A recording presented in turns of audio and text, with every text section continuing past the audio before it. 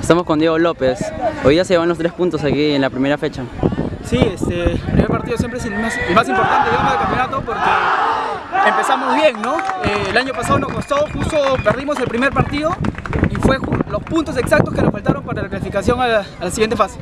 Importante en triunfo, bueno, han habido bajas todavía porque falta documentación, pero esperemos que para el siguiente partido estemos todos completos, ¿no? ¿Hubo problemas durante el encuentro, discusiones, peleas? Sí, eh, como todos los partidos, siempre hay discusiones, siempre hay peleas, pero son cosas del partido. Y en el partido queda, ¿no? ¿Qué puedes opinar sobre las expulsiones de tu equipo? Eh, la primera muy rápida. Eh, el árbitro nos condiciona con una amarilla bastante rápida y la segunda, bueno, realmente no vi ninguna agresión, solamente una gresca, pero es cosa normal del partido, que siempre ocurre. Pero bueno, son decisiones del árbitro y hay que respetarlo. ¿Tu gol cómo lo describes? Metido, ¿no? Metido en el área. Siempre trabajo con los muchachos, les digo, este, hay que estar metidos en el medio. Una va a llegar, justo llegó, ¿no? Importante que estuve ahí.